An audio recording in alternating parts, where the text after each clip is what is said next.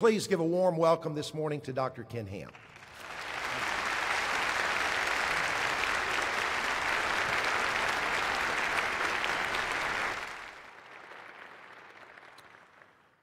Well, good morning. Wow, I, I could hardly hear that. Well, it's great to have you all here. And you have to get used to me speaking because I tell people I have a deep southern accent. It's different to your southern accent down here. I wouldn't want to speak like that. I want, I want to maintain the one that I uh, actually obtained from Australia. Actually, I didn't have an accent until I came to America. And then, for some reason, must be the air you breathe, whatever it is, suddenly people say, you got an accent. But the good thing about having an Australian accent in America is that people tell me it doesn't matter what you say, we just love to hear you saying it. So I, I can get away with anything. Well, I come from a ministry called Answers in Genesis, and we're just thrilled that uh, Dr. Pettit uh, would invite us to this university. Actually, you know, it's very sad, but there are not many university, Christian universities even, that will take a stand on God's word from the book of Genesis right through. And this university does, and we praise the Lord for that. Well, this is the age of social media. And so we're using a hashtag, which a lot of you young people will know how to use. The older generation, you can ask the younger ones. Hashtag BJUAIG. And if you're uh, on Twitter and so on, we would encourage you to go there and uh, actually uh, be able to tell people some of the things that you learn here this morning and uh, let them know. Uh, the secularists really don't like me doing this. Every time I speak to young people like this, they go crazy on my Facebook and Twitter and all upset that we're actually teaching you some information that they don't want you to hear. And uh, so that's why we like to get as many of you out there telling them what you've heard uh, so that they get to hear it. Answers in Genesis is an apologetics organization. And by apologetics organization, what we mean is that we teach people how to defend the Christian faith. And one of my favorite verses of Scripture is 1 Peter 3.15. Always be prepared to give an answer or, or, to give a defense. And that word answer, defense, comes from the Greek word apologia, from which we get our word apologetics. So our ministry is an apologetics ministry. Apologetics meaning to give a logical reason defense of the faith. And one of the things that I found today is that many people in our churches, many young people, might know about the gospel, might know about the Bible, but do they really know how to defend their faith against the secular attacks of our day? That's one of the reasons we built the Creation Museum. How many of you, for interest, have been to the Creation Museum already? Wow, there's a lot of hands across this room. That is great. And how many of you have already been to the Ark Encounter? Oh, there's a number of you. The rest of you need to repent of your sin and get there as soon as you can. If you've been to the Creation Museum, you'll know that the Creation Museum actually is not just about creation and about creation evolution. It's actually a walk through the Bible, a walk through what we call the seven C's of history creation, corruption, catastrophe, confusion. That's the geological, biological, astronomical, anthropological uh, history of the universe that the world says is not true. And what we're telling you here is that history is true. The history in geology, biology, astronomy, anthropology, that history is true. And science confirms that history. And then the gospel based on that history is true. Actually, our message is quite simple. Every one of the presentations I give, I have the same message. You know what it is? The history in the Bible is true. That's why the gospel based on that history is true. And that's what the Creation Museum is all about. And we use life size exhibits and walk people through the Bible, have a planetarium, special effects theater. It's an incredible facility. It's a themed attraction, a Christian themed attraction. And there's nothing else like it actually in the world. And people walk through that, they experience the Bible, they get answers to skeptical questions and understand the Bible's history is true. That's why the gospel based in that history is true. And we have a petting zoo and zip lines and all sorts of fun things for us to do you know, people have said to me over the past few years, why do you have zip lines at the Creation Museum and the Ark, by the way? And you know, my answer is, well, Christians can have fun too, right?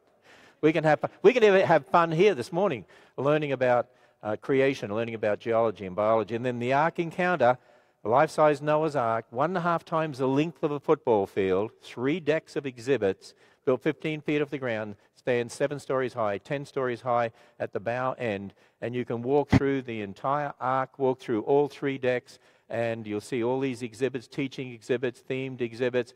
And we get a lot of non Christians who come in there and they're challenged because what we're doing is disseminating information to the world that is just not available in many other places because it's censored from the education system in the public schools, for instance, and from secular universities. You know, it's interesting, uh, you often uh, hear that, oh, at universities, you know, academic institutions, they pride themselves in uh, being able to think critically and, you know, uh, uh, listening to all views and academic freedom. But you know what we find in this day and age? What they mean by academic freedom is they hear everything, but they're not allowed to hear anything Christian. That's about how, how it is these days. And, you know, we get accused of being intolerant, but I find the people who accuse us of being intolerant are the most intolerant people of all. it's like people who say, well, you need to tolerate all beliefs. Well, what about our belief? The Bible's right and the other beliefs are wrong. Oh, no, we don't allow that because we allow all beliefs. Well, you see what's happening, don't you? It's a, a worldview clash, and that's what it's all about. And of course, our whole emphasis at the Ark, as well as at the museum, is that as Noah and his family went through a door to be saved, we need to go through a door to be saved, and that door is the Lord Jesus Christ. I said to you that my, one of my favorite verses of Scripture is 1 Peter 3.15. Always be prepared to give an answer. When I was a high school teacher in Australia, one of the first lessons that I taught, students said to me, Sir, we heard you're a Christian. I said, Yes. How can you be a Christian when we know the Bible's not true? And I said, How do you know the Bible's not true? Well, because of what we're taught in our textbooks about evolution and millions of years. And right then I realized that for those young people, the teaching of evolution and millions of years was a real stumbling block to them even listening to the gospel and hearing uh, what the Bible has to say. And so I started to teach them how to think about science and you know the difference between observational science using your five senses in the present that develops our technology and then talking about historical science beliefs about the past and I found these students had all sorts of questions. In fact, I, as I've gone all over the world in the past 40 years, people ask the same basic questions. They're the same questions I was asking when I was a teacher. Well, how do you know there's a God? And where did God come from? Well, wait a minute. How could Noah get those animals on the ark? And don't we see evolution because we see natural selection? And aren't the fossils millions of years old? And, and so the questions go on. And so what I developed uh, was a way of teaching the students answers to those questions uh, teaching them apologetics, even in the public schools. I had the freedom back then to do that. And, you know, I've heard many testimonies from some of those students many years later, 40 years later, who said that that really challenged them, and a number of them that have committed their lives to the Lord Jesus Christ. And so, what I want to do with you as young people is this. See, I, I've even been to churches where I've talked to young people, youth groups, and I've said, You believe in God? Yes. Well, how do you know there's a God? Well, I guess it's by faith. And I say, What sort of faith? Well, I guess it's blind faith. I tell you, I tear my hair out. No, it is not blind faith. It's the atheists that have blind faith. Christians don't have a blind faith.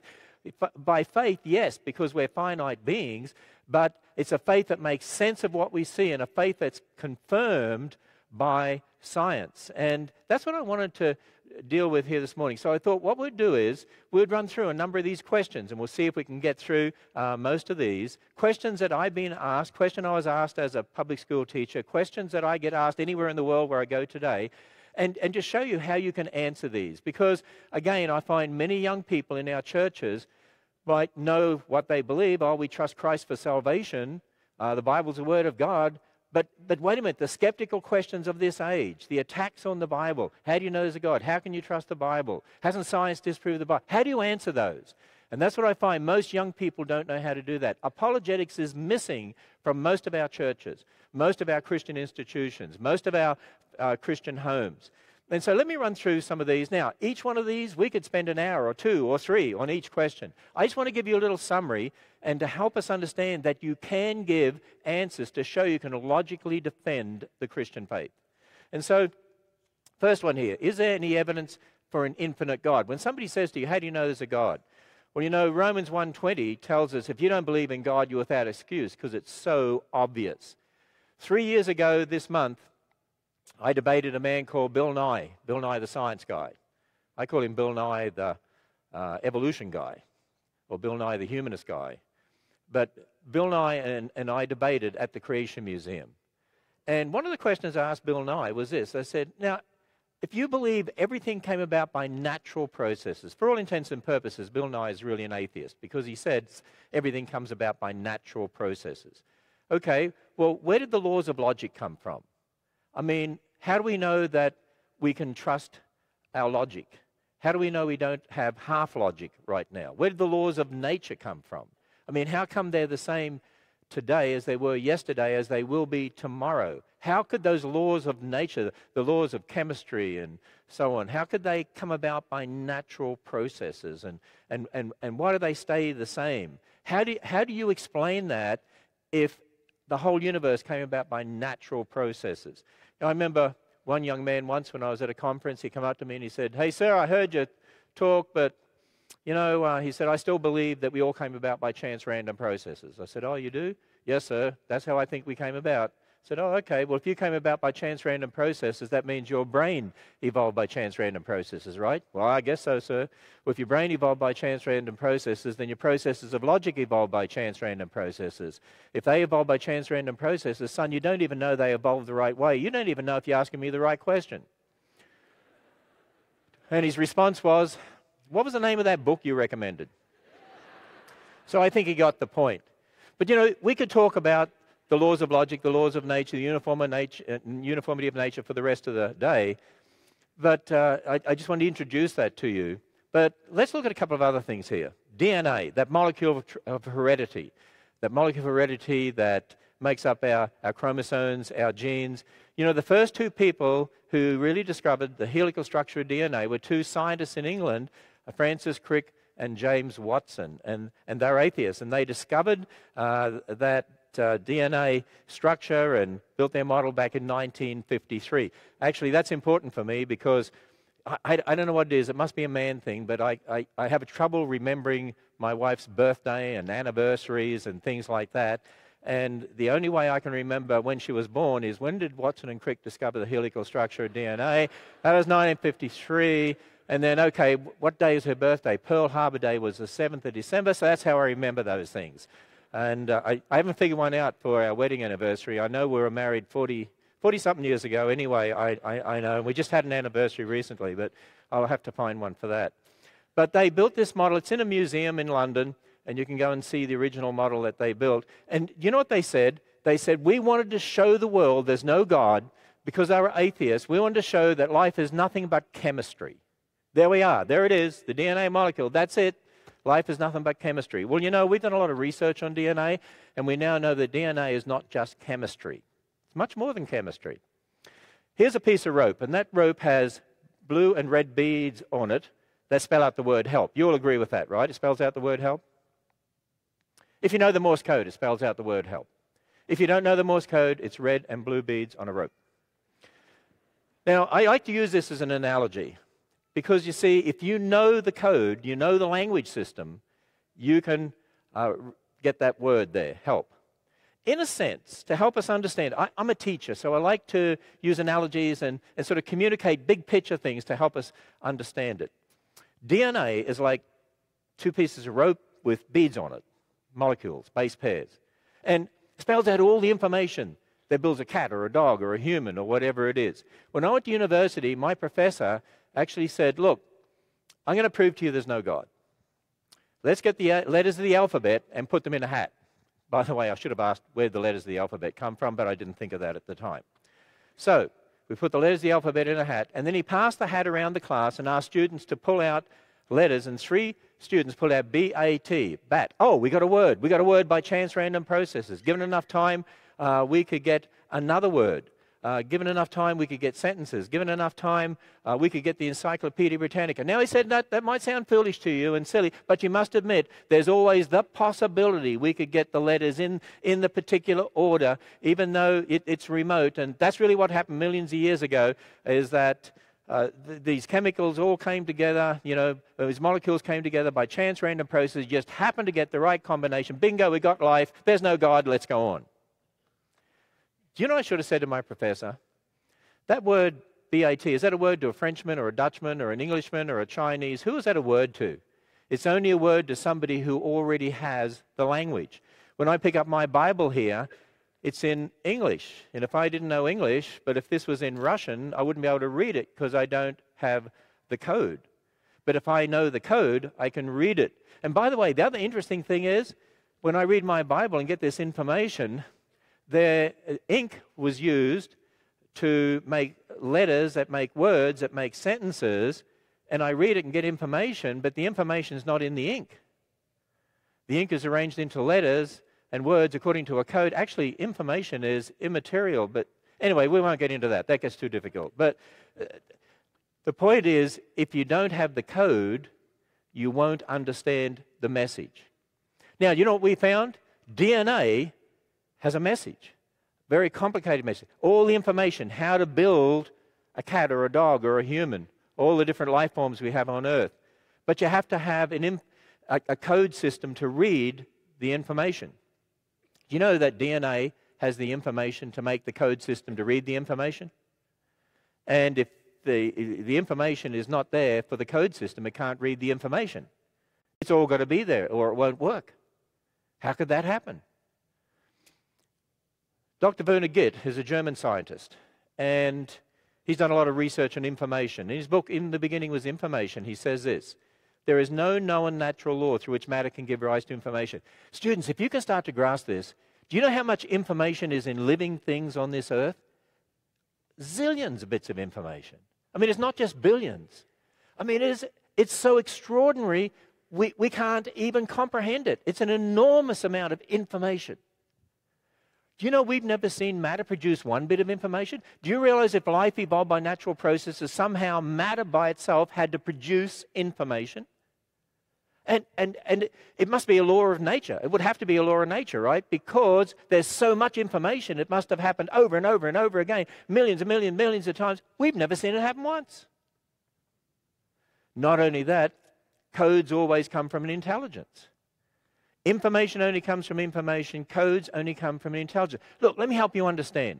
Do you know how much information there is in, in, in, in our genes? Just to, just to start to help you comprehend this a little bit. Has anyone here counted the number of atoms in the universe? Have, have you done that lately? Well, they estimate it to be 10 to the 80th power, one followed by 80 zeros. That's how many atoms they estimate are in the universe. You know how small an atom is. If you took one man and one woman from this audience, do you know how many children you could have without the same combination of information, without having two the same? It's that number. See, that sort of variability God put in the, the, the cat kind, the dog kind, the human. I mean, there's an incredible amount of information in living things. Now, if you're going to believe in evolution like Bill Nye and you believe everything happened by natural processes, somehow matter, and of course, then you can ask the question where did matter come from? Where did the laws of the universe come from? Where did the laws of logic come from? I mean, they ignore all those questions, but somehow matter had to form a code system and had to form information. And then over millions of years, you supposedly get all this information, zillions and uh, bits of information. We've never seen matter produce a code, and we've never seen matter produce information. Evolution's impossible. In fact, it's ridiculous. You know, when you look at DNA, you know DNA really cries out? In the beginning, God created. Hey, isn't it thrilling to be a Christian? Wow, there are three people thrilled. Three people in South Carolina are thrilled. Isn't it thrilling to be a Christian? Oh, isn't it exciting to be a Christian? People, do you realize something? That's what the Bible says. If you don't believe in God, you're without excuse. Now, I know you're sitting there, and I know one of you at least is thinking this. Yeah, but what would Richard Dawkins say about that? You, you wanted to ask that question, didn't you?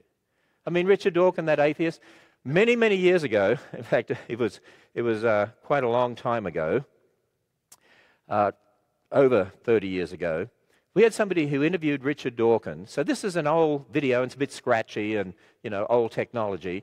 But they asked him basically that question Can you give one example, just one where you see new information added into the genes? Let's, let's see what he says.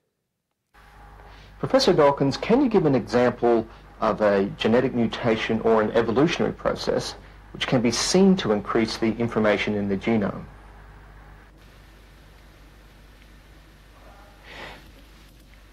Now look, just in case you missed that,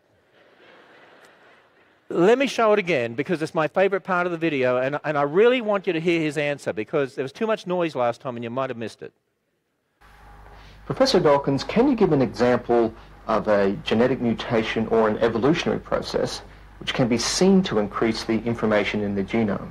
Now, I would say to you, it's one of the rare times that atheist Richard Dawkins and I agree. there is no answer. Now, think about this. We've got millions, billions, trillions, zillions of bits of information in living things. Give an example where matter produces one bit of information on its own, brand new information. Now, I know you're sitting there and saying, yeah, but that was over 30 years ago. What would he say now? I knew you would ask that question. How many of you saw the Expelled movie a number of years ago? Quite a lot of you. Well, if you remember in the Expelled, Expelled movie, Ben Stein, who was the host, was speaking to Richard Dawkins. And, and I want you to listen uh, to the question he asks here because he basically says, you know, is it possible that life could have been designed? And of course, Richard Dawkins is an atheist. He says there's no God, everything came about by natural processes. So let's listen to his answer. What do you think is the possibility that there, that intelligent design might turn out to be uh, the answer to some issues in uh, genetics or in, well, in evolution? It could come about in the following way. It could be that uh, at some earlier time, somewhere in the universe, a civilization e- evolved by probably some kind of Darwinian means to a very, very high level of technology and designed a form of life that they seeded onto perhaps this, this planet. Oh, of course Richard Dawkins is prepared to believe in a designer, as long as it's an alien. Now, think about that for a moment. Oh, yes, I believe that it's very possible life was designed and seeded on Earth by aliens. Okay, so they must have come from a planet somewhere. How did those aliens come about? I think his answer would have to be there was another planet that had aliens. And they seeded life on that planet to produce the aliens that came to this planet. Oh, where did those other aliens come from? There was another planet you know, I really think Richard Dawkins would be very happy to believe in eternal aliens, but not an eternal God. it just shows you that they'll do anything but believe the truth. And you know why? Because if there is a creator God who made us, who owns us, he sets the rules. It means marriage is a man and a woman. It means abortion is killing a human being. It means you need to submit to God. It means you're a sinner in need of salvation. And, and of course, Romans 1 makes it very clear that th- these people who reject God as creator, you know what it says? They suppress the truth and unrighteousness. It's so obvious there's a God. God has made it evident to all, as Romans 1 tells us, as we started off with here this morning. And so they suppress the truth. That's what Richard Dawkins does. He has to suppress the truth. You know what he's really doing? Putting his hands over his ears, his hands over his eyes, and he says, I refuse to hear, I refuse to see. There's, there's no God. I'll believe anything but that. I want you to understand what's happening here. This is their blind faith religion to try to justify rejecting the God of creation. Let's go on and see what else he says. Um, now, that is a possibility and, a, and an intriguing possibility. Mm. And I suppose it's possible that you might find evidence for that if you look at the, um, at the detailed details of biochemistry, molecular biology. You might find a signature of some sort of designer by the way, you do find a signature of some sort of designer. It's called DNA, a language system and an information system. And he knows that signature is there, but he would rather attribute it to aliens than to an eternal God. Wait a second. Richard Dawkins thought intelligent design might be a legitimate pursuit? Um, and that designer could well be a higher intelligence from elsewhere in the universe. Well, but that um, higher intelligence would itself have had to have come about by some explicable or ultimately explicable process. It couldn't have just jumped into existence spontaneously. That's the point. So, Professor Dawkins was not against intelligent design, just certain types of designers, such as God. And that's it. That's what, what he's against. He refuses to believe in the God of creation. And you know, that's why I want us to understand something here. I said, I meet young people who think Christianity is a blind faith. No, Richard Dawkins has a blind faith. The secularists have a blind faith. The atheists have a blind faith because observational science does not confirm their faith. Observational science, in the beginning, God created the heavens and the earth. Observational science confirms the first verse of the Bible. When you look at DNA, when you look at biochemistry, a language system, an information system, when you consider the laws of logic, the laws of nature, it's very obvious in the beginning God created the heavens and the earth, is what makes sense of the world. Observational science uh, confirms that. You know, I said to you the reason that they reject God is because they don't want to believe they're in submission to God.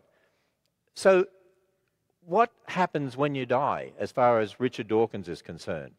You know, there was an article recently, and it was in New Scientist, and it was headed A Meaning of Life How a Sense of Purpose Can Keep You Healthy. And there was a statement in here because when I had Bill Nye at the Ark uh, a few months ago, and I, I took him through the Ark, a two hour walk through the Ark, and we videoed it all, by the way. And one of the questions I said to him, But Bill, what's the point of you even arguing against creationists? And, and what's the point of you doing what you're doing? Because from your perspective, what happens when you die? He says, When you die, you're done. I said, Well, you, when you die, you're done. What's the point of doing what you're doing? Oh, because there might be some great scientific advancements to help people for the future. I said, But when they die, they're done. And if, if they die, they're done. What's the point of what you did? And it was interesting to read in this article this statement. This is a new scientist, just recently, in January actually. As human beings, it is hard for us to shake the idea that our existence must have significance beyond the here and now. Life begins and ends, yes, but surely there is a greater meaning. The trouble is, these stories we tell ourselves do nothing to soften the harsh reality as far as the universe is concerned. We are nothing but fleeting and randomly assembled collections of energy and matter. One day we will all be dust. One day, but not yet, just because life is ultimately meaningless doesn't stop us searching for meaning while we're alive. And then they go on to say if you do exercise and get healthy, it helps purpose and meaning. I want you to understand something. That is the message of our secular education system. That is the message of our secular university system. Generations of young people like yourself are being told you're nothing but uh, a randomly assembled collection of molecules. When you die, that's the end of you. Is it any wonder we see violence and suicide and turning to drugs and sex and whatever, whatever you can do in the moment? Because that's the hopelessness of the evolutionist position. Do you realize that atheistic evolution is really uh, the pagan religion of this age to explain life without God. That's what it is. And you know the sad thing? So many church leaders, just like the religious leaders in the days uh, uh, uh, of the Israelites, and you read about in the minor prophets, for instance, and even Isaiah, Isaiah, Isaiah, however you say it, and Jeremiah, Many of, the, many of the, the, those religious leaders adopted the pagan religion of the age and compromised God's word, and, and it destroyed them. And people, that's happening today, right across the church in this nation. Now, then I have people say, and I had this at school, well, Mr. Ham, who made God? Oh, hmm. How do you answer that? A little boy once at a conference came up to me, he was about nine, ten years old, and he looked up at me and said, Mr. Ham, then how do I answer who made God? Who made God? I looked at him and thought, how, how do you answer a nine year old like that? So I said, I thought to myself, it's the same way you answer the PhDs in our universities, too, secular PhDs. Who made God? I said, Well, son, if somebody made God, you'd have to have a bigger God who made God, right? Yes, sir. Well, now you've got a problem. Yes, sir. Well, who made the bigger God? You'd have to have a bigger, bigger God who made the bigger God who made God, right? Yes, sir. Now you got a problem. Yeah, I know. Who made the bigger, bigger God? You have to have a bigger, bigger, bigger God who made the bigger, bigger God who made the big God who made God, right? Yes, sir. Now you got a problem. I know. Who made the bigger, bigger, bigger God? You'd have to have bigger, bigger, bigger, bigger God made the bigger, bigger, bigger God made the bigger, bigger God made the big God who made God, right? Yes, sir. Well, now you got to, I know. And I said, You realize you can keep going back all you want, just like Richard Dawkins, aliens and more aliens and more aliens and more aliens. You, you have to have a, a, a, bigger God and a bigger, bigger God. You know, the only thing that makes sense and makes sense of the laws of logic and the laws of nature and makes sense of the universe? The very first verse of the Bible. In the beginning, God created. God who is outside of time. Young people, I want you to understand this. We are finite beings. So we can never understand that. The Bible says God is an infinite creator. He's outside of time. We were created in time. He created time for us to exist in. We are finite created beings. That's why the Bible says without faith, it's impossible. But it's not blind faith. That's what I want you to understand. It's a faith that makes sense of what we see, is confirmed by science. And you know what? This book claims to be a record from the one who knows everything, who says, I want to tell you where you came from, what's happened in the past, who you are, what your problem is, what the solution is. And as we take this book, which is really a history book, it's God's history book to us, it makes sense of the world. Yes, if you don't believe in God, you're without excuse. And so let's look at some other areas as we go on here.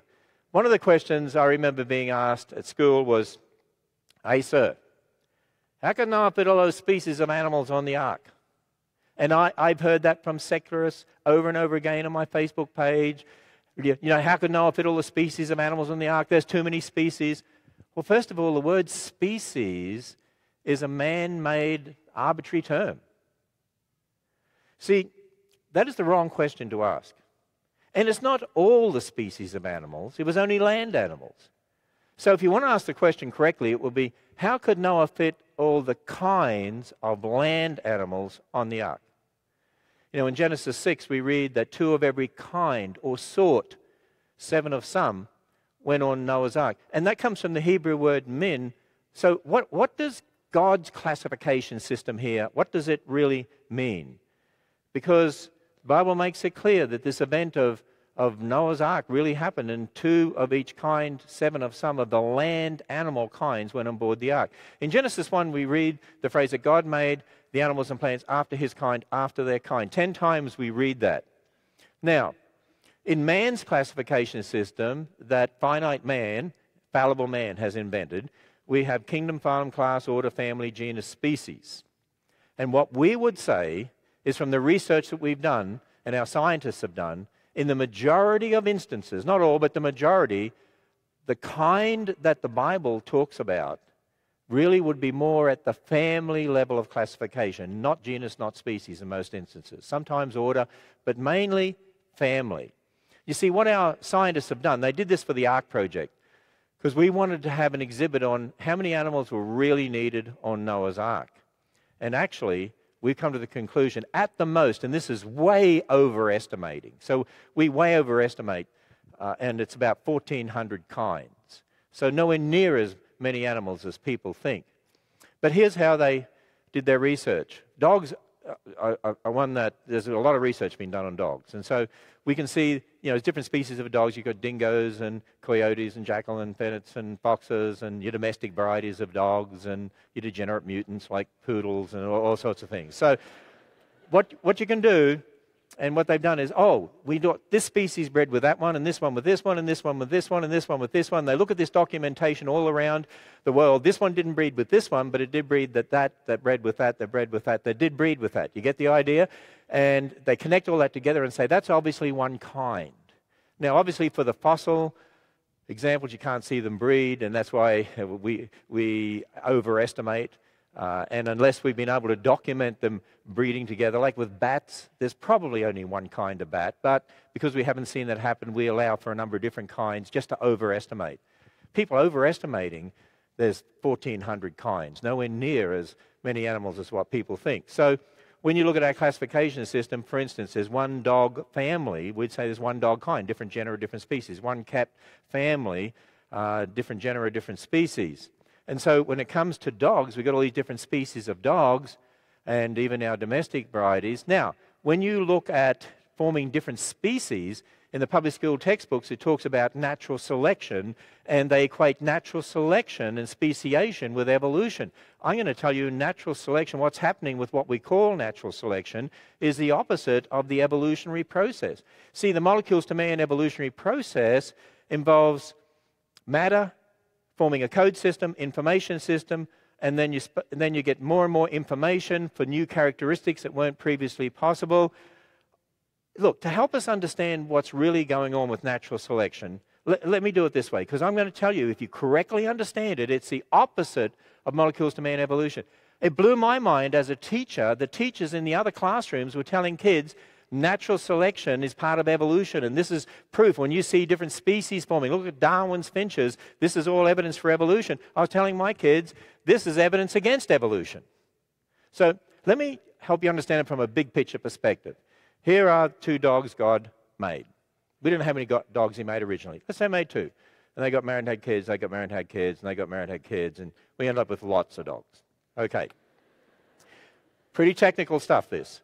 Now, even though it's much more technical than this, much more complex, even our PhD in molecular genetics, Dr. Georgia Purdom at Answers in Genesis, uses the same slides I do to give you the big picture. And so we're going to use capital letter, capital letters for dominant genes, uh, little letters for recessive genes. That is way oversimplifying. But you know what? What we really need to do is just understand the big picture because the big picture is accurate as to what's really going on. And, and sometimes we complicate things too much, and so we don't get the big picture. Now, there are millions of these, but this just gives you an idea. So here we have a male and female dog, big A, little a, big B, little b, big C, little c, and they have an offspring, two big A's, two big B's, two big C's. I want you to notice something. The information here came from these two dogs. But it's going to look different to the parents because it has a different combination of information. You look different to your parents, but all the information came from your parents, but you have a different combination of information. By the way, do you know that's important when it comes to the abortion issue? Did you know when sperm fertilizes egg, there's a unique combination of information different to the mother, different to the father, and no new information is added, which means you're 100% human right then. And the Bible says humans are made in the image of God. And so, just from that perspective alone, abortion is obviously killing a human being. Now, you can get other combinations. I like to use the little a's, little b's, little c's to represent um, you know, what we call our purebred dogs, like poodles. They're not pure in the sense you think of pure. It just means, you know, how do we get those purebred dogs? Oh, here's a dog with a short nose, a dog with a short nose. Let's breed them together, get rid of the genes for long nosed dogs and, and all the rest of it. And so you're getting rid of information and concentrating information. And because of 6,000 years of the curse and sin causes all sorts of problems and mistakes, you're also concentrating mutations, which is why those, those little purebred dogs usually cost you millions of dollars to keep alive because they, they basically wouldn't be here if it wasn't for sin. Now, so I want you to have a look at this. Uh, let's say this is a poodle. Two little A's, two little B's, two little C's. If you breed poodles with poodles, what are you going to end up with? Poodles. Isn't that sad? I mean, that's all you can get. See, they are the end of the line in dogs. I mean, if they lose any more information, they're gone. Now, I want you to think about this. Could you start with poodles and breed back to the original dogs? No, you can't because you don't have all the original information. Could you theoretically start with these dogs and eventually, again, not that you want to, but eventually get poodles? And the answer is theoretically yes. You see what I'm saying? Now, remember 10 to the 80th atoms in the universe. If you took one man and one woman, that's how many children you could have without having two with the same combination of information. Young people start to grasp this. This, this is what the secularists don't get. This is what the kids in the public schools don't understand. There's incredible pools of information. God made a pool of information for the dog kind, the cat kind, the elephant kind. He took two of each kind, seven of some, on board Noah's Ark. And because of the incredible amount of variability that's already there in the genes, as they come off the ark, over time, what happens? They uh, build up in population and move away from each other, and you get all sorts of different combinations that survive in different areas in different ways for different reasons, and you end up with different species, which is the opposite of evolution. You see, for, for those who believe in, in, in, evolution, you start with no code, no information. Over millions of years, you've got to get all this information. Do you know what we notice? Do you know what we observe in genetics? Conservation of information, new combinations of information, loss of information, massive amounts of information. It goes totally against the evolutionary worldview. Observational science confirms you've got all these pools of information that God put there. Let me help you understand further. These are the two dogs that got on board Noah's Ark. S gene for short hair, L for long hair. Together they are medium hair length. They fell in love. Okay, there are only two of them, so. And then they have an offspring. Oh, look, it's got something new. Here's how they indoctrinate kids in the, in the education system something new is evolution.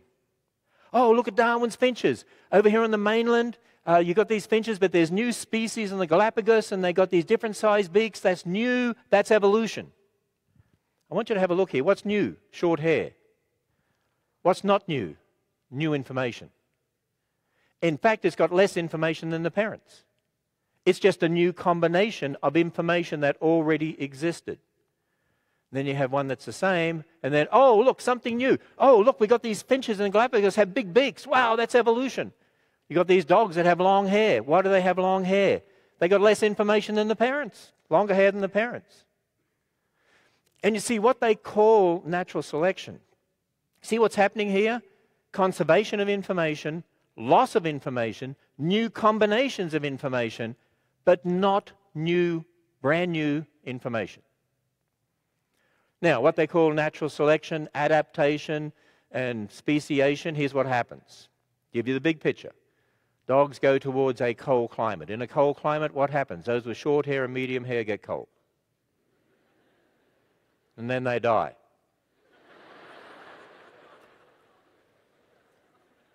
And now you're only left with dogs with long hair. Hey, we got a new species or something, you know. And then there are those that go towards a hot climate. In a hot climate, medium hair, long hair overheat, and they die. And now you're left with dogs with only short hair. What's new?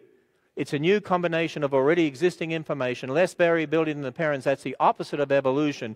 Natural selection, adaptation, and speciation, it's the opposite of a molecules to man evolutionary process that requires new information.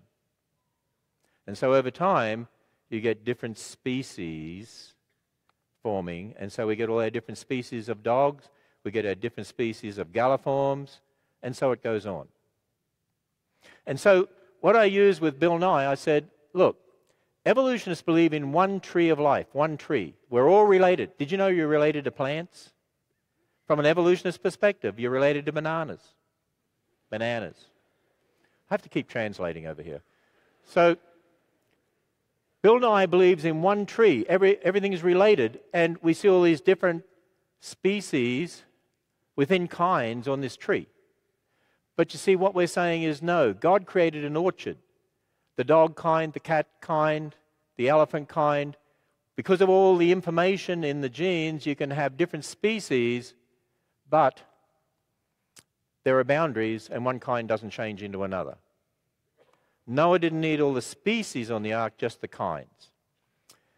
We have a, a, a, DVD out. Actually, we have a special for you, which we always do for young people because I, I so want to equip them. Uh, we have some pocket guides that, that are normally $6 each that we let you have for a dollar each today. And we have videos that are anywhere from 14 to $20 we let you have for $2 each today. And this is one of them. It has uh, a number of animated, uh, six animated videos on there. I want to show you one of them because they really help teach some of these things. So let's watch this short video. You hear this one a lot. Science has proven evolution, therefore evolution is true. Since evolution is true and Christians don't believe it, then Christians don't believe science and they aren't rational people. Really, let's put that claim to the test. First off, evolution in the sense that things change is evident. No rational person disputes that. Therefore, rational Christians believe it. We can observe change, but evolution in the sense that life came from non life and then that life began to randomly generate new genetic information and over time it eventually produced humans is something entirely different and something that quite honestly doesn't hold up against science. In other words, evolution in the sense of molecules to man is not scientifically plausible and therefore should not be viewed as scientific fact. Quite honestly, it is in great opposition to science, that is, observational science, the kind of science we can test and repeat and use our five senses to understand. Science demonstrates that over time, living organisms lose genetic information. They don't gain it. That same science demonstrates that life doesn't arise from non-life. Hey, Follow along if you would. Fact one, there is no known observable process by which new genetic information can be added to an organism's genetic code. None. That pretty much refutes evolution right away because there's no way to go from a fish to an amphibian without adding new information, right? If living organisms cannot produce new genetic information, how can anything gradually change into something of higher intelligence or form or complexity? That is, how can anything evolve from an amoeba to a man without adding new genetic information? The answer, of course, is that it can't, plain and simple. Now, some have speculated and they have imagined all kinds of things, and they brought in artists to produce creative renderings based on guesses, and they have been successful in telling a very convincing story that humans evolved from ape like creatures. But those are just drawings, people. They're just stories. But what we really observe is humans are humans and apes are apes. Now, if fact one buried evolutionary thinking deep into the Precambrian soil, this next fact, fact two, tosses so much sediment on it that not even the greatest team of paleontologists with the latest subterranean gizmo could dig up the remains. Check this out. Never, again, never has it been observed that life can come from non life. So here are two major scientific evidences against evolution. I reiterate for clarity life has never been observed to come from non life, and there is no known, observable process by which new genetic information can be added to the genetic code of an organism. So, molecules to man evolution doesn't really make scientific sense. Yet we are all here, and life is all around us in various forms. Although evolution cannot account for this, the Bible can. The Bible reveals that the all powerful, all knowing, supernatural God created the heavens and the earth out of nothing, and all life according to its kinds, that is, each with its own set of genetic information.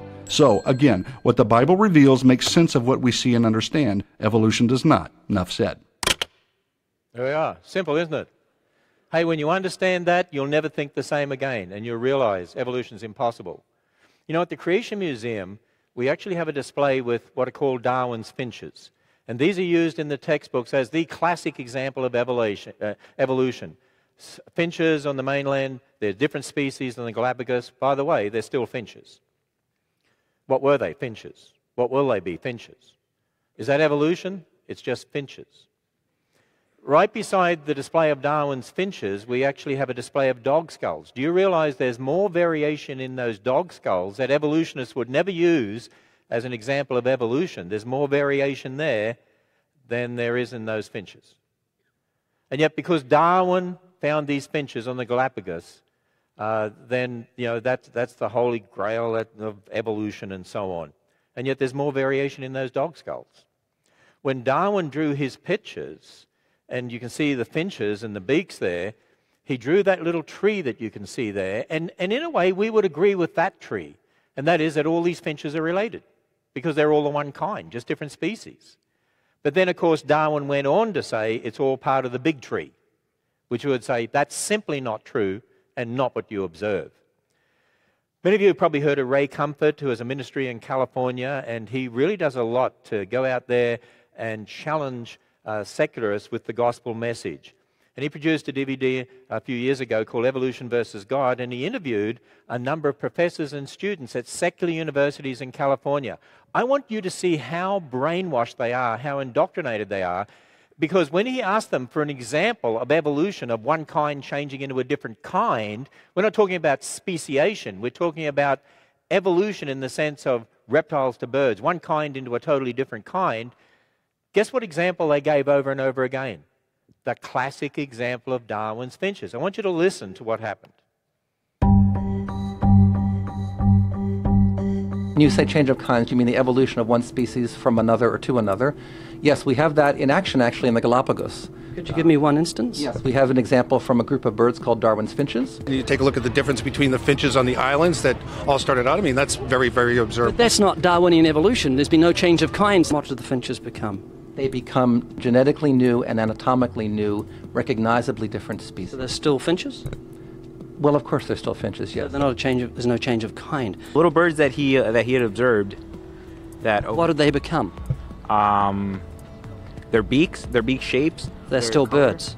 Yes. Three finches that turn into different types of birds. They're still finches. Well, for example, Darwin and, and his study on evolution of uh, the birds on the island that he went on to there. Their beaks changed? Their beaks. Uh, They're still birds. There's no change of kinds. They're still birds. There's no change in kinds. In fact, they're still finches. Hey, do you know what I'm telling you? Observational science in genetics confirms an orchard, separate kinds, variation within a kind, representing the incredible genetic potential God put there with all the pools of information. That's what observational science confirms, does not confirm the one tree, the evolutionary tree Hey, you know what? Isn't it exciting to be a Christian? Oh, that time we got 40 people excited. We're getting better here. Wow. I'm, I'm trying to find out how to, how to get people in South Carolina really excited about God's Word. Okay, so let's go on then. Okay, you believe in Noah's Ark. He didn't need near the number of animals on the ark. He could fit them all in. It wasn't a problem. Most animals pretty small anyway. There's tons of room on the ark. But now, now that means you believe there was a global flood. Yes. Is there any evidence for a global flood? Actually, if, you, if there was a global flood, you'd expect to find billions of dead things buried in rock layers laid down by water all over the earth. And you know what we find? Billions of dead things buried in rock layers laid down by water all over the earth. The interesting thing to me is the secularists propose what they call a flood of biblical proportions on Mars in its history, because there's evidence there was water on Mars. There's no liquid water on Mars. They're happy to propose a flood of what they call biblical proportions on Mars, where there's no liquid water, and they refuse to have a flood of biblical proportions on Earth, where it's 70% covered by water. Why is that? Because the flood on Earth is in the Bible. If the Bible said there was a flood on Mars, they would say there never was a flood on Mars. They'll do anything but believe the Bible. Now, I couldn't bring our geologist with us this weekend. Dr. Andrew Snelling has a PhD in geology from Sydney University. He's done a lot of research over the years. He's one of the leading creation geologists. So I brought him on video, and after he finishes here on this video, I'll then explain a couple of things in a little bit more detail to you. But I, I want to show you this because the majority of our young people today do not hear this sort of information. It is censored from them. The secularists don't want them to hear this because as soon as they do, they realize wait a minute, that, that means the millions of years can't be true. What are some of the best flood evidences? If the flood really did occur, what evidence would we look for? You know, most people haven't even thought of that question, let alone thought of an answer. You know, the Bible says that the fountains of the great deep were open, the rain fell from heaven for 40 days and 40 nights, the waters rose 150 days until all the high hills under the whole of the heaven were covered and the mountains were covered. And we're told that all land dwelling, air breathing life perished except for those on the ark. Wouldn't we expect to find billions of dead plants and animals buried in rock layers laid down by water all over the earth? And that's exactly what we find. Billions of dead things called fossils buried in rock layers laid down by water all over the earth. But let's expand on that. Let's look at six of the best evidences for the flood. Evidence number one sea creatures buried high in mountains on the continents. That's right, marine creatures that live on the ocean are found in mountains like the Himalayas. How did they get there? Unless the ocean waters rose up over the continents. And we find marine creatures in rock layers all over the continents, everywhere around the world. Evidence number two we'd find rapidly buried plants and animals. Well, we do, fossils. We find fossils not only of plants, but of bees, of bats. We find fish that are, uh, haven't finished having their breakfast, eating another fish they're buried and fossilised. Ichthyosaurs giving birth to babies and they're fossilised. We find delicately preserved fossilised jellyfish. How do you fossilise a jellyfish slowly? Evidence number three rapidly deposited sediment layers right across the continents. We find that everywhere we look. Look at the Redwall limestone, full of fossils in the Grand Canyon. Yet the same limestone layer is found in the same position over in Pennsylvania, then over in England, and even in the Himalayas. The chalk beds, the White Cliffs of Dover, we find the same chalk beds in Europe, in the Middle East, over into Kazakhstan. We find the same chalk beds with the same fossils in Texas and the Midwestern United States. We find the same chalk beds in Western Australia. The coal beds of Pennsylvania and West Virginia are also found in, in England and Europe, right across to the Ural Mountains. Evidence number four long transport distance of sediments. The Coconino sandstone in the Grand Canyon. The sand grains are believed to have been eroded and washed from it far north as at least Wyoming. The Navajo sandstone in Zion National Park, those huge white cliffs, the sand grains are believed to have been eroded and washed all the way from the Appalachians right across North America. Evidence number five rapid or no erosion between uh, sediment layers. Again, think in terms of the uh, Coconino sandstone and the Hermit Shale. It's a, there's a knife edge flat, featureless boundary between those two rock layers for mile after mile through the Grand Canyon. Yet the geologists claim that there's 10 million years missing at that boundary. What would have happened during 10 million years of weathering and erosion? You'd get a topography, not a flat, featureless boundary.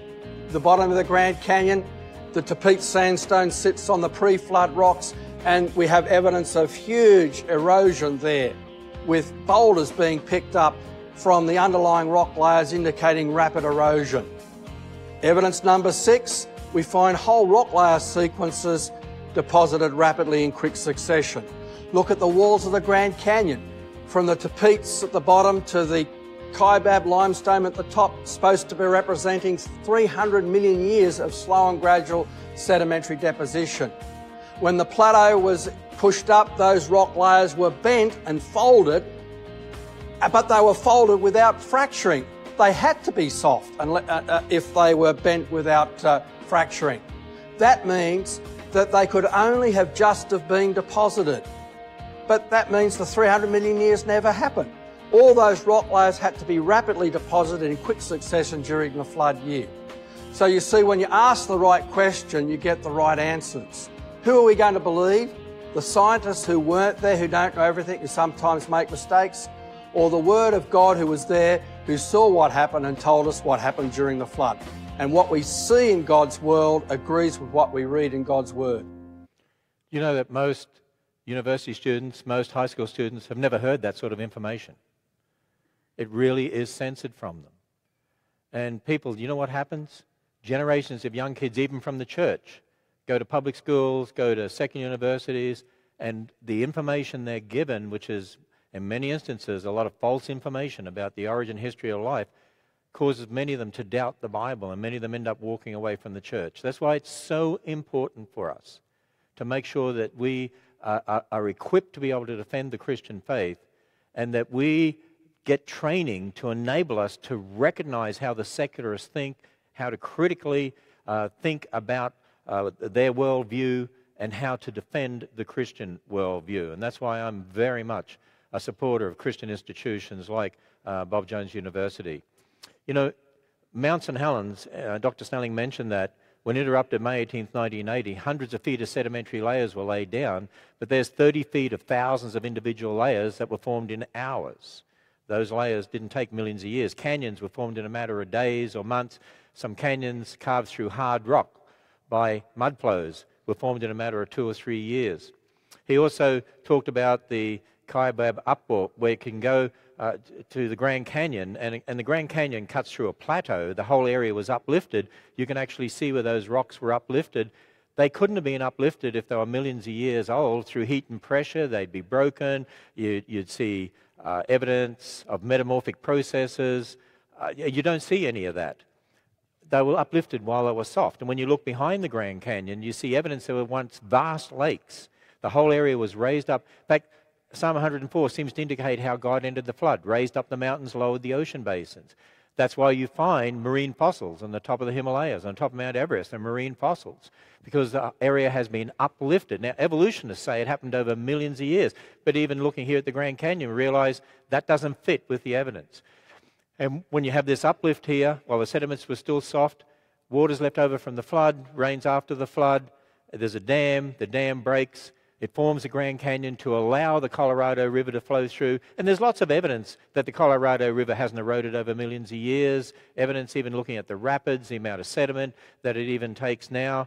And you look downstream, you can see those surge deposits where that sediment was deposited. People, what you find out there as you look in geology totally fits with what you'd expect from a recent Earth, a global flood just a few thousand years ago. Isn't it exciting to be a Christian? Oh, that was a 523 people excited. That, that was a lot better. So, then it comes down to looking at the Bible and people saying, okay, well, wait a minute. Because I've heard of lots of Christians and Christian leaders, churches that teach millions of years, and they say that the days of creation obviously allow for the millions of years. And so we need to deal with that issue the days of creation.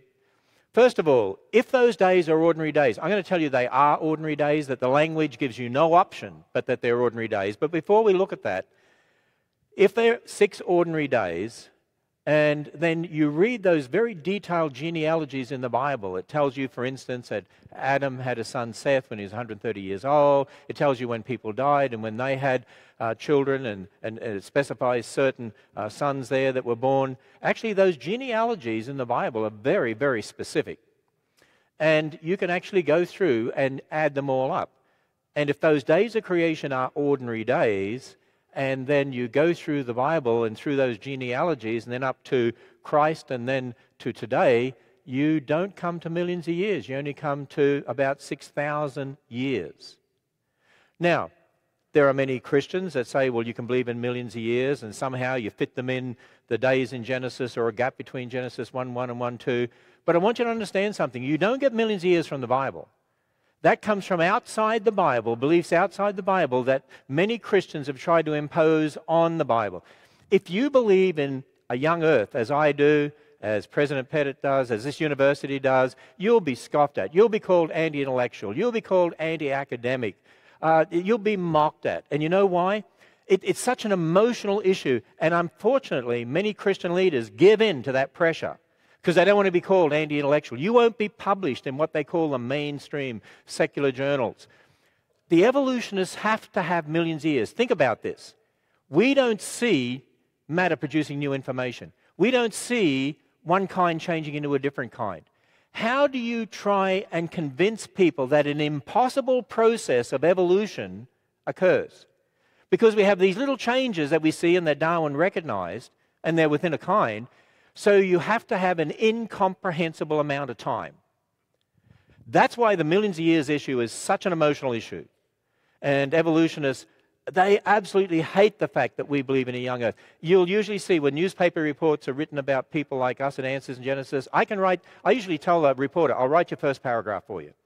These are the people that believe in a young earth and that dinosaurs live with people and we don't believe in evolution of millions of years. There, you're going to write that anyway, just put it down there they, they are so emotional about the millions of years. Because if the millions of years is not true and the earth is only thousands of years old, the universe only thousands of years old, what are they going to do? Believe the Bible? They don't want to do that because then they have to submit to God, to their Creator. Now, when you take the Hebrew word for day, the word yom, for day, it's used 2,301 times in the singular and plural forms in the Old Testament. You know what's interesting to me? We know what the word day means everywhere it's used in the Old Testament except Genesis 1. You know why that is? Because Genesis 1 is where people try to fit the millions of years. See, the Hebrew word for day has a range of meanings just like the English word. For instance, if I uh, said, back in my father's day, it took 10 days to drive across the Australian outback during the day, there's the English word for day having three different meanings. Right?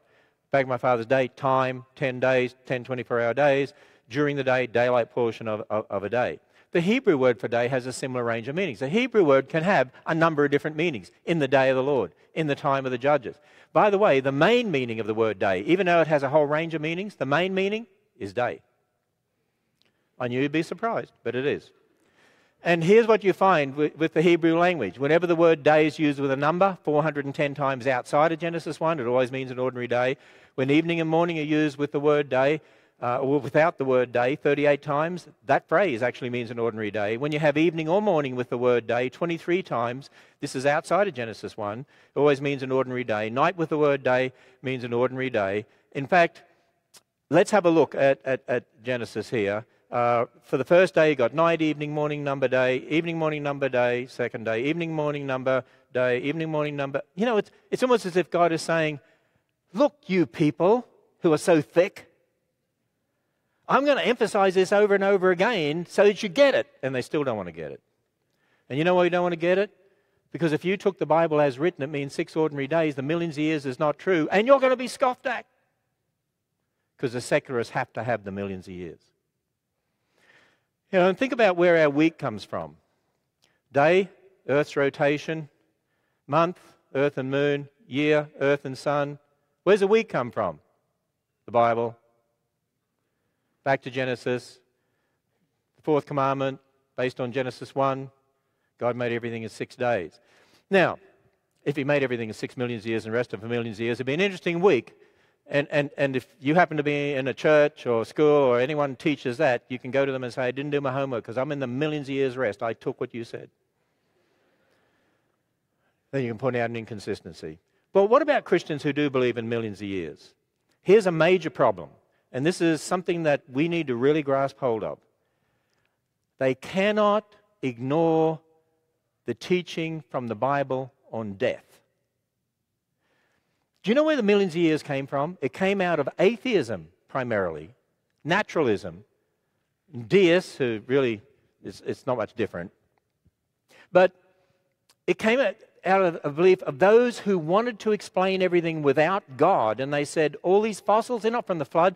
They were laid down in layers over millions of years before man. Many Christians have said, okay, we'll take that millions of years and add it into the Bible. I want us to look at what the Bible says about the origin of death. Adam, you can eat of all the trees. There's one tree you're not to eat of as a test of obedience, because he didn't make Adam to be a puppet. He wanted us to love him because he wanted to. You'll surely die. Adam ate the fruit. That's the origin of sin, that literal event of rebellion against God, original sin. And I would say that death is not just spiritual death, it's physical death. From dust you come, to dust you're going to return.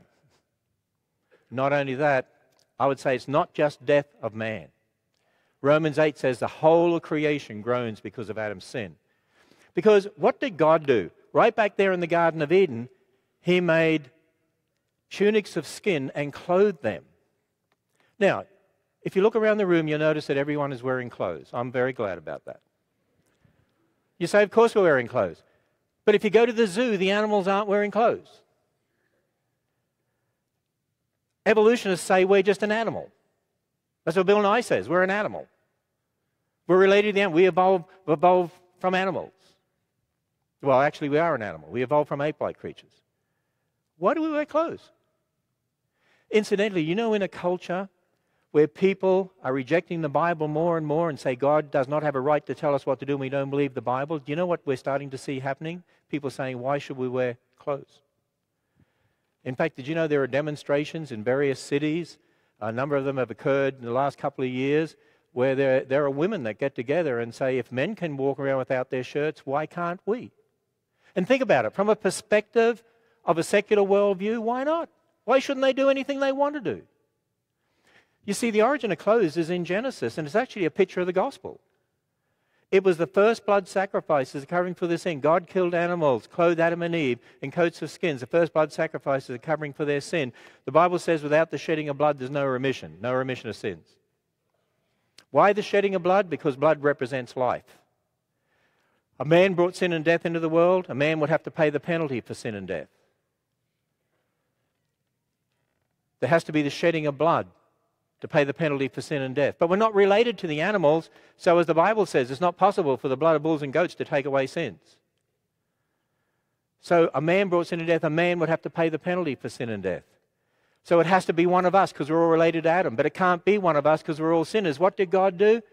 He stepped into history in the person of his son to be the perfect man, to be our relative, to be of Adam's race. Wow and died on a cross and shed his blood and conquered death, raised from the dead, and offers a free gift of salvation. Now, think about this. If you believe in millions of years as a Christian, you've got a problem. Because then you've got death and bloodshed millions of years before sin. If without the shedding of blood there's no remission of sins, if there was a shedding of blood millions of years before sin, what has a shedding of blood got to do with the remission of sins? And in the fossil record, there's lots of examples of animals eating each other and bones in their stomachs. People, the Bible says originally, Adam and Eve ate, ate fruit, the animals were plant eaters. We're all vegetarian to start with. We weren't told to eat meat until after the flood when God said, Just as I gave you the plants, now I give you all things, everything. And that is, that's the justification for eating a hot dog, because it is everything. See, even the origin of a hot dog is in Genesis. Think about that. Did you know in the fossil record there are examples of diseases? There's a science called paleopathology, the, the, the, study of diseases in the bones in the fossil record. And they see evidence of brain tumors and cancer and arthritis and abscesses. Now, wait a minute. If that all, all existed millions of years before man, if you take what the secularists have taught about millions of years and add into the Bible, this all occurred before man. After God created man, he said, Everything I made is very good then God's calling brain tumors and cancer very good. Do you know one of the most asked questions today by young people, by the millennials? How can you Christians believe in a loving God? Look at all the death and suffering and all these children dying and starvation. Look at all the horrible things happening in the world. When you're taught millions of years, and most of our churches teach the kids you can believe in millions of years, most of our Christian institutions, the majority, by far the majority of Christian colleges, Bible colleges, seminaries teach millions of years. They don't here at this institution, but the majority do. And when you teach generations of young people millions of years, you're telling them God's responsible for all this death, bloodshed, and suffering and, and diseases in the world. No wonder they say, I, I, How can I believe in a God like that? They don't understand it's our fault because we sinned against a loving God. We committed high treason against the God of creation. And that's why the whole creation groans. And by the way, the secularists are so inconsistent. Oh, you Christians, if you believe in a loving God, look at all the people that drowned at the flood and all the rest of it, and he must be a horrible God. Wait a minute. If you believe in evolution and reject God, then evolution is responsible for all the horrible things we see in our world. Point that out to them. Did you know there are fossil thorns in the fossil record said to be hundreds of millions of years old? The Bible says thorns came after the curse. People, these two things can't be true at the same time. That's why the Bible calls death an enemy. It's an intrusion. The whole creation groans because of sin. But then we come down to the issue of the age of the earth, and people say, well, wait a minute. The secular scientists say the earth is billions of years old, and they use all these dating methods. Most people don't realize that there are hundreds of dating methods you can use to age date things on the earth, but more than 90% of them contradict the billions of years. But you don't hear about those. And when, you, when you're talking to people who say to you, oh, yes, but, but we know these fossils are billions of years old, or scientists have dated this, ask them this question What dating method did they use? What are the assumptions behind that dating method? Uh, tell me, explain to me how the dating method works. 99% of the time, People can't answer those questions. They have no idea. They just accept what they've heard on TV. I mean, today we're hearing a lot about fake news. I've got some more fake news for you. Evolution, millions of years, the dating methods prove millions of years. We've been hearing fake news for years. And ju- just to show you, look, all dating methods have assumptions. All dating methods involve a process of change with time to try to calculate how old something is. But think about it. You've got to know what was there to start with, you've got to know everything that's happened in the meantime. See, salt comes into the ocean at a rate people can measure today. They, they can actually measure the oceans. That's observational science. And, and, and salt is taken out of the ocean, and there's a net gain of salt. So the oceans are becoming more salty every year. Now, the oceans are supposed to be 3 billion years old. If you assume the ocean started with no salt, and you say, How do you know that? That's the point. Every dating method has an assumption like that. You don't know, you weren't there. But if it had no salt, and if the salt's been building up in the past the same rate it is today, and you say, How do you know that? The point is, you don't. But the point is, every single dating method has assumptions like that. But if you take those assumptions, there's only enough salt to count for 62 million years, which totally contradicts the billions of years. But I don't believe it's 62 million years old. There could have been salt to start with. I think Noah's flood would have upset the amount of salt content in the oceans. It could be as young as 6,000 years. In fact, it is. There were some engineers in Australia, mining engineers, that drilled down into a basalt layer and they found some trees that were trapped, wood, woody material still trapped in the basalt layer. And when they dated, when the basalt layer was dated using potassium argon dating, it dated to 50, 45 million years old. When they dated the wood with carbon dating, it dated to 45,000 years old. 45,000 year old wood in 45 million year old basalt. There's a slight discrepancy there, and it means there's problems. Look, when the lava dome formed on Mount St. Helens in, uh, in the 80s, after it erupted, in the 90s, uh, a creation scientist actually sampled rock on the lava dome and used potassium argon dating to date the lava dome that rock was formed in the 80s.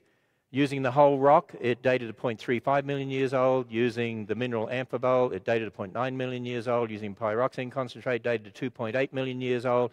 And you know what we found? Even in New Zealand, there, there, were lava flows. We know when they formed. When you date them using potassium argon dating, it dates a millions of years. And you know what they found? when the, when the lava comes out of the ground from the mantle, it already has uh, a lot of argon in it, so it already looks old when it's not. But here's the point when they know when a rock formed, they can figure out why the dating method didn't work. When they don't know when it formed, the dating method works.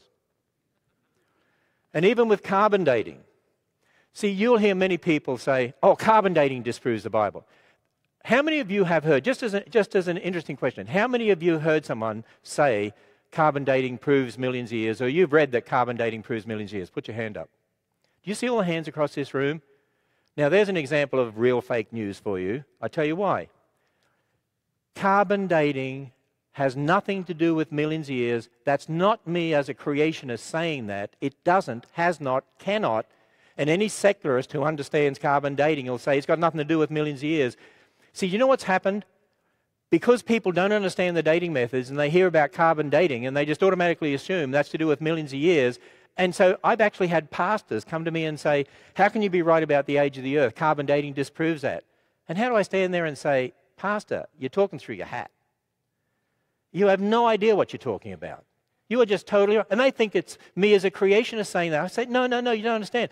The half life of radioactive carbon 14 is 5,730 years, and after a, a, about 100,000 years, it would be not detectable. The point is, evolutionists know, everyone, you can't use carbon dating for millions of years, and yet the majority of the population think that's proof for millions of years. It's mind blowing. There were creation scientists that obtained some diamonds that are supposed to be one to two billion years old. Now, here's the point. If something is one to two billion years old and you try carbon dating, it won't work because you because it, it will not be radioactive carbon will not be detectable after one to two billion years, and yet they find that they get a date of 58,000 years. You know what that means? They can't be billions of years old. And carbon dating has assumptions too. When it comes to astronomy, how come we still have comets? because even for the long period comets, you know, after 10 million years, they, they'd be gone. And, uh, you, know, comets wear out, as you know. Well, what, are the, what do the evolutionists say? How come we got all these comets? Well, the, you've got the Kuiper Belt and you've got the Oort cloud to give birth to comets. How do you know? Well, we got comets. There has to be a place out there giving birth to comets. How about the universe is not billions of years old? Oh, no, we can't have that.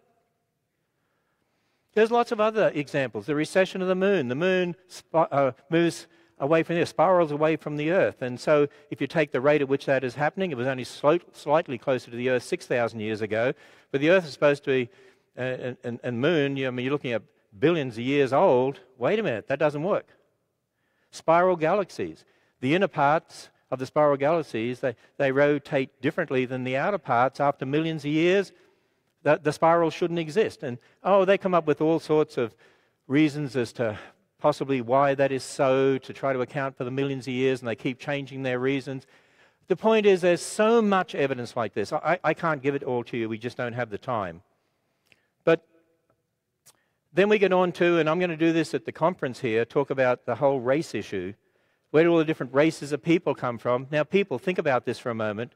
If we all, if we all go back to Adam and Eve. 1 Corinthians 15:45 Adam was the first man. Genesis 3:20 Eve was the mother of all the living. If we all go back to Adam and Eve, how many races of people are there? One. There are no different races of people. And you know what else is interesting? People say, well, how did we get all the different, you know, the Australian Aborigines and the Fijians and, and the American Indians? Well, the Bible tells us there was an event called the Tower of Babel. God gave different languages. You know what happens? People move away from each other, and because of the incredible information in our genes, you end up with, with these characteristics that uh, are dominant in a particular group, but they're all minor characteristics. we all go back to the Tower of Babel, back to Adam. Even skin color. People say, well, how do you get black people and white people? There are no black people. There are no white people. Now, I know people look at me and say, You're a white person. Okay. Let's do observational science. I'll prove to you I'm not. White. Me. if I look like that, you'd be calling 911. Can you imagine that? What is your emergency? A white person is talking to us. Quick, we need help. Did you know we all have a pigment called melanin? You can have a lot, lot of it and you can have a little bit of it. There's no truly black people, there's no truly white people. We're all shades of brown. And it's just that genetic variability that we have. It's very easy to understand. It's a minor difference, and we try to major on that, but it's a minor difference. Let me show you a short video. I hear this one a lot. How can there be so many races in the world if we are all descendants of Adam and Eve? Well, check this out. First off, let's talk about the word race. Sometimes when people use the word, they mean supposed races of people who have evolved at different times, rates, and in different locations. That's not true. Of course, the word race is also a term we use to distinguish between groups with different physical traits, namely skin color. But are there really different races? Take a gander at Acts 17:26 where it is written that God, from one man, made every nation of men. It's clear then that the Bible teaches that there is one race, the human race. The Bible is also clear that all people on the earth are descendants of Adam and Eve who were created by God. Check Genesis 1:26 through 28. Easy enough. God created two people in his image, male and female, and told them to increase in number. So, Adam and Eve are mom and dad of the human race. Then, their children had children, and those children had children, and so on and so forth for many generations until, according to Genesis 6:9, the world's population was reduced to 8 people who were protected inside an ark during a global flood. And those 8 people later walked off the ark, and according to Genesis 9:19, from them came the people who were scattered over the earth. Oh, wait a second. What do I mean scattered? Well, jump over to Genesis 11 and let's talk about an event known as the Tower of Babel. Basically, because of the sinful actions of the descendants of Noah, the Lord confused their language and scattered them from there over all the earth. That's pretty clear and concise. Okay, so we've got lots of people who are descendants of the eight folks who came off the ark, and now they have been scattered all over the earth. That explains that we are still one race and that different groups of people ended up in different locations. But how do we get a bunch of different colored people if we are all one race? Well, follow along. This, of course, is a simplified explanation, but the basic principles are true. We all have a pigment in our bodies called melanin, which, depending on different variables, produces different shades of the one main skin color we all possess. Several genes control the amount of melanin produced and thus the variability in the skin shade. In fact, it's easy for one couple to produce a wide range of skin shade variability in just one generation, as we'll see in just a moment. Time for a quick genetics lesson. DNA is the molecule of heredity that is passed from parents to children. A child inherits 23 chromosomes from each parent. Each chromosome pair contains hundreds of genes, which regulate the physical development of the child. However, to illustrate basic genetic principles pertaining to the topic, we'll just talk about two genes, the genes that control the production of melanin. So, let capital A and capital B symbolize versions of the gene that code for large amounts of melanin, while little a and little b code for small amounts. Got it? Easy. Check this out. Take a look at the upper left. Let's say dad contributes capital A, capital B genes, and mom contributes capital A, capital B genes as well. Together, they will produce a child with capital A, capital A, capital B, and capital B. This is a kid with a lot of melanin, and thus he will have very dark skin. Easy to see. Here's the bigger point though. Let's say dad contributes capital A, capital B, and mom contributes little a and little b. Well, the child's skin will be middle brown shade, the combination of capital A, little a, and capital B, little b, which by the way represents a majority of the world's population. Not only that, but if each parent is capital A, little a, capital B, little b, the combinations that could be produced in their children could result in a very wide range of skin shades in just one generation. So, since Adam and Eve were the first people ever, it makes sense to conclude that God placed in them a combination of genes that could produce all different shades of skin we see. Those same combinations would be present in Noah and the seven other people who boarded the ark. And because God dispersed people at the Tower of Babel, he dispersed the population, thereby isolating gene pools in the different people groups. Over time, different cultures formed in different locations with certain features like skin shade becoming predominant. And here we are today. And since we all go back to Noah and his family, it makes sense that we are all different shades of brown. One race, multiple people groups, just like the Bible teaches. Simplified for sure, but enough said. See, it's easy, isn't it? It really is. And I'm going to do that in more detail at one of the sessions here over the next three days. You know, it, it, it also changes your attitudes towards people. Have you, do you ever think like this? If you saw those riots in Berkeley just recently and realize every one of those people there, they're all my relatives. And probably many of them, most of them, don't know the Lord. Doesn't it make you think differently about every other person? They're my family and changes the way that you approach them. And you know, that brings us to the one last thing that I, that I want to finish up on. Why does it matter what Christians believe about Genesis? Because what I've been trying to show you is that, hey, and we could do it in a lot more detail, whether it's biology, whether it's geology, whether it's anthropology or astronomy, observational science confirms the Bible's history over and over again. And that history is foundational to our worldview, to our morality, to the gospel. When you take that history in Genesis, It says God made man in his own image. The animals weren't made in man's image, God was made in man's image. You know how many people think today? Abortion, get rid of spare cats, get rid of spare kids. We're all animals. What's the difference? No, humans are made in God's image. In fact, humans shouldn't even be in the animal kingdom, they're separate. We're different. And we need to emphasize that to our children. In the image of God created he, male and female created he them. I can tell that this, that this university believes in Genesis because they have male restrooms and female restrooms. Who would have ever thought you'd have to talk about that? But think about it when you abandon Genesis, if that history is not true, they'll define male and female however they want to define it. And the Bible tells us that God formed man of the dust of the ground and then he, God brought the animals to Adam to name, and he saw that he was alone. I mean, he didn't look at a female chimp and say, She's close enough, I'll date her. He realized that he was alone, and so what did God do? He put him to sleep, and from his side, from a rib, he made a woman. The first recorded words of Adam bone of my bone, flesh of my flesh, she shall be called woman because she was taken out of man. She was taken out of man. And then, so the woman came from the man. Now, for those people who say, can't you believe in evolution and say God used evolution? Well, evolution would have us believe that man came from an ape man, woman from an ape woman. The Bible says man from dust and woman from his side. Even in the New Testament, Paul says a woman is of the man. And then, verse 24, therefore, this is the reason the fact that man was made from dust and woman from his side, and you become one because you're bone of my bone, flesh of my flesh, you're one flesh. This is the reason a man leaves his father and mother and shall cleave unto his wife, and they'll be one flesh. This is the reason for marriage. God made them male and female. He made us in the image of God, male and female, male from dust, woman from his side. You become one because you're one flesh. People, it can't be any clearer that marriage is a man and a woman. And in chapel, in chapel in a few moments, when I speak in chapel, I'll go over this at one part. But I want to remind people, you know, Jesus in the New Testament quoted from Genesis when asked about marriage to say, Haven't you read? He made the male and female and said, This is the reason a man leaves his father and mother. The doctrine of marriage is founded in Genesis. Not just marriage, by the way, but every single biblical doctrine of theology, directly or indirectly, is founded in the book of Genesis. Every single one. Once you abandon the history in Genesis and abandon God's word, anything goes, which is what we see happening in our culture. And you know, here's the bottom line there are only two foundations upon which to build our worldview. It starts in Genesis trust God, you become like God. It's two religions battling man's word, God's word.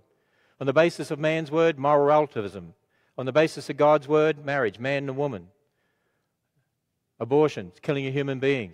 What do we see happening in our culture? The collapse of Christian morality, increasing moral relativism, because increasingly we have generations of young people like yourselves that have been indoctrinated to believe the Bible's not true and that science has disproved the Bible. People, we need to get out there and get the truth to this culture. I encourage you to use our website, answersingenesis.org. Thousands of articles. You can spend millions of years on our website and uh, get some answers.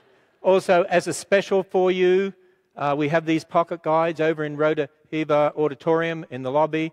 You can have them today for a dollar each. They're normally $6 each.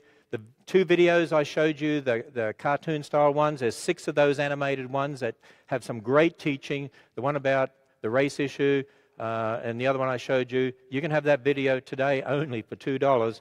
We subsidize all these for you. And this one, Science Confirms the Bible, sort of similar to what I did this morning, done to a different group for $2. This book to present the gospel uh, to people starts in Genesis and goes all the way through. Is only $3. There, there's some really special subsidized prices for you. And then on the rest of the books that we have over there, you'll see you can get uh, different combinations, different prices. My book, The Lie, The Importance of the Book of Genesis, Why It Matters. That's, that's really our message in Answers in Genesis for the church. I'd love to see every young person read these four books 130 of the top questions you'll be asked with detailed answers. Study those as a course Study those at home, and you'll be equipped to answer most of the questions you're going to hear about. Also, we just came out with uh, World Religions and Cults, Volume 1, 2, and 3. Volume 3 deals with atheism, secularism, materialism, how to understand these religions. Atheism is a religion and how to deal with them. Lots of other materials over there. I'll tell people more about those uh, as we go on. Also, I want to encourage the schools. You know, I, I, what, one of the things that I'm saying is you can't Christianize secular material. It's either secular or Christian, which is why I really appreciate uh, BJU Press uh, Christian textbooks that stand on, on, on God's Word right from uh, Genesis. And you know, I also uh, uh, appreciate too that many uh, people here at Bob Jones University, students, are used as counselors for Camp Infinity. We actually partner with Camp Infinity. Dan Wooster, who was a, who was a, a computer pro- professor here for many years, it's a STEM camp uh, that people can go to, and counselors from Bob Jones University are very, uh, uh, from the university are very much involved uh, in Camp Infinity. If you want to go to a STEM camp that's creationist, I encourage you to look that up. With that, I'm going to hand back uh, to President Pettit.